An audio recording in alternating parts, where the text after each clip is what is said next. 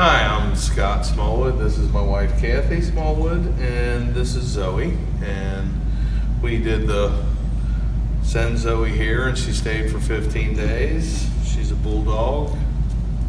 Zoey said she had to stay a little bit longer because she wasn't the best student being a bulldog.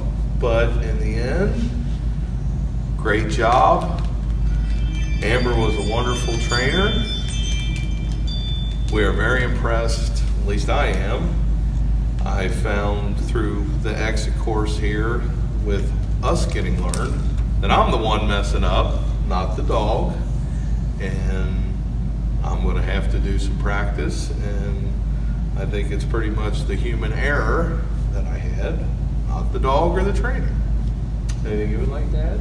She is amazingly behaved compared to where we left her. And I'm really grateful for Amber and how she took care of our baby away from home when she couldn't be with us. So thank you.